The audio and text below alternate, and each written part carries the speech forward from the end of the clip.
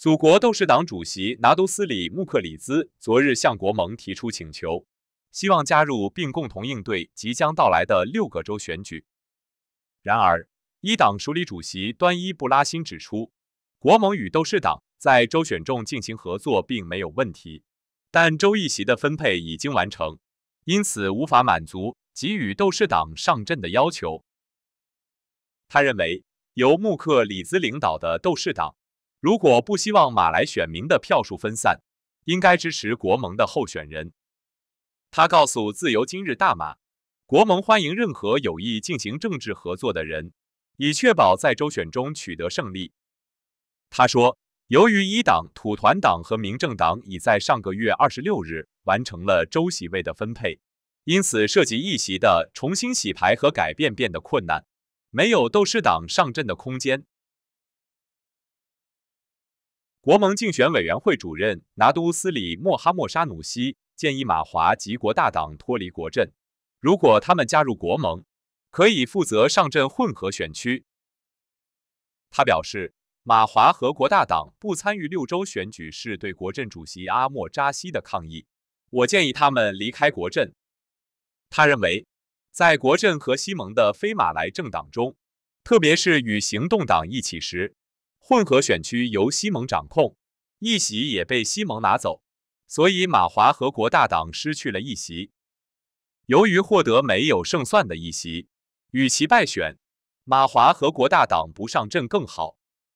他表示，如果马华和国大党成为国盟成员党，他们可以代表国盟上阵混合选区。此外，沙努西指出，雪州的发展是因为其靠近首都吉隆坡。而不是因为西蒙执政，因此雪州不能作为西蒙执政成功的典范。其领导者只是依靠吉隆坡的好运。雪兰莪很幸运，因为它靠近吉隆坡，作为发展和商业中心，所有中心都集中在吉隆坡。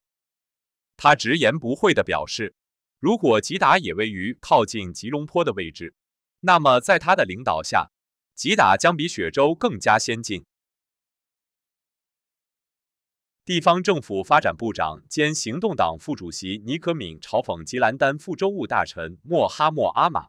对方声称吉兰丹有伊恩购物商场是丹州政府发展的证明，令人感到可笑，并指出一党执政吉兰丹已经三十二年，但至今未能解决供水问题。他表示，在一党的领导下，吉兰丹成为半岛马来西亚最贫穷的州属。他说。在即将到来的六州选举中，西蒙执政的州属已经陆续提供了施政成绩单，并呼吁伊斯兰党效仿此举，公布一党执政州属的施政表现。他以西蒙执政的雪州政府为例，指出州政府为州民提供了各种福利，如免费巴士服务、奖学金计划等，认为人民可以清楚地评估各州政府的表现。此外，尼克敏希望民主联合阵线穆达主席塞沙迪能够改变立场，与团结政府盟党进行协商关于独自上阵的问题。在记者会上，当被问及行动党如何看待穆达独自上阵的问题时，他回答说：“塞沙迪是支持团结政府的国会议员，因此希望能够进行协商。”他确认，西蒙的候选人名单已经进行了协商。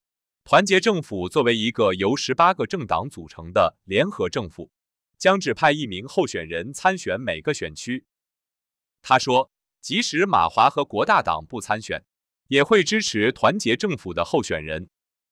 我们的原则是，当国阵的候选人参选时，西蒙将全力支持。同样的，我们也希望国阵能够支持西蒙的候选人，以团队的精神巩固团结政府。至少在未来五年内，让国家享有政治稳定，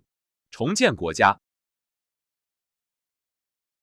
前首相马哈迪形容首相安华是一个病态撒谎者 （pathological liar），因为安华在没有任何证据的情况下指控他涉及贪污和任人唯亲。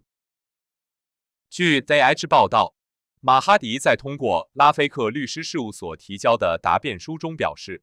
他已要求安华提供涉及他滥用权力和贪污的相关文件作为证据，但遭到了安华的拒绝。他说，从1998年开始，直到他提交的宣誓书，安华从未提供任何证据证明我滥用权力或存在贪污行为。他只是在媒体上反复重复他的重伤剧本。马哈迪指出，缺乏直接和间接证据证明了安华是一个骗子。马哈迪在六月二十三日的律师函中要求安华提供二十一份文件，以证明他在宣誓书中提及的贪污和任人唯亲指控。然而，安华的代表律师汤姆斯·菲利普在六月二十七日提出反对。马哈迪认为，安华不愿提供证据的行为显示出其恶意。他直言，作为首相，安华必须基于事实发表声明。因为他的任何声明都会在媒体上广泛传播。他补充说，反对提供文件作为证据的要求是不合逻辑的。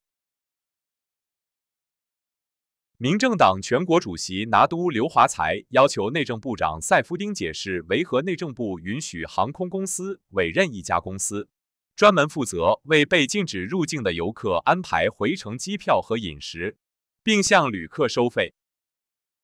刘华才表示，部长提出的理由令人难以接受。部长必须解释为什么不由政府官员处理被禁止入境旅客的问题，或者让航空公司直接处理旅客的回程机票事宜，而是另外委任一家公司来处理。